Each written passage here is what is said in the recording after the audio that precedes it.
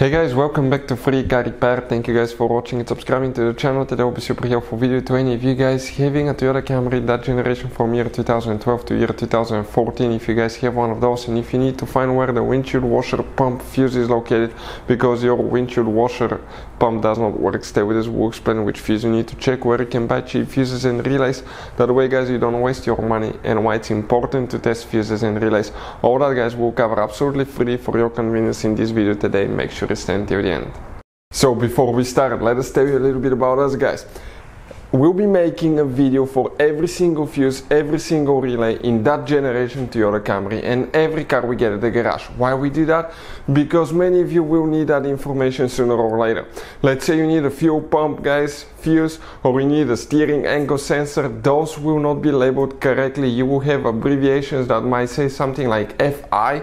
You may not have an idea that's a fuel pump guys or fuel injection system. So that's why we're making video for every single fuse, every single relay to save you time and money. And if you're stuck in the middle of nowhere or if you need to find a fuse, all we have to do, spend a minute or two, watch the video, find out the fuse instead of guys spending uh, time to find it in the, in the service manual, instead of guys wasting money, okay, and time on parts and tools you don't need.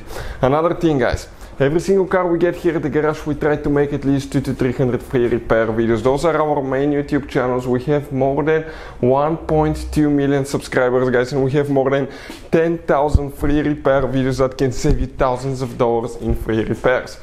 Another thing, let us show you something quick. You have, guys, some special fuses and relays.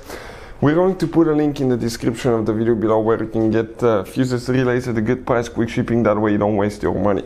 You have those multi-block fuses, we'll put the link for them as well, for different fuses, for different relays, okay? Uh, all kinds of fuses and relays. If you need to buy some and not waste your money, we'll put the link in the description of the video below where you can get them from. Check it out. So let's start on it now. So now let's explain where the windshield washer pump fuse is located. We'll demonstrate on a 2013 Toyota Camry right here.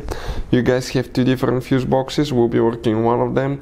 The uh, not so good news is that it's not so convenient that fuse box. It's right under the dash on the driver's side. If you look right here, look above the pedals on the left side, all the way under the dash, you will see one white cover. Once you open that white cover, you see a fuse box layout that will look just like this one. Before we guys continue, let's explain why it's important to test fuses and relays now.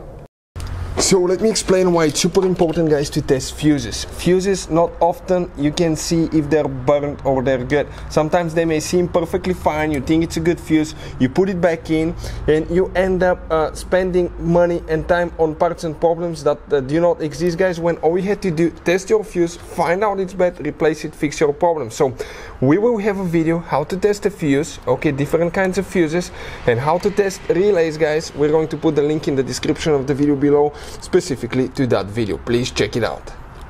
So guys, for the washer pump, windshield washer pump, we'll need to check specifically two fuses today. And if you look in that row of fuses, guys, right here, I don't know who designed that thing, but the fuses go like that, one, two, three, four. Then you go to fuse number, uh, right here, you go to fuse number 38. Then you have five, six, seven, eight, nine. Fuse number nine will be the one that you will need to check right here and uh, uh, fuse number 9 and then you have 10 11 and fuse number 11 guys.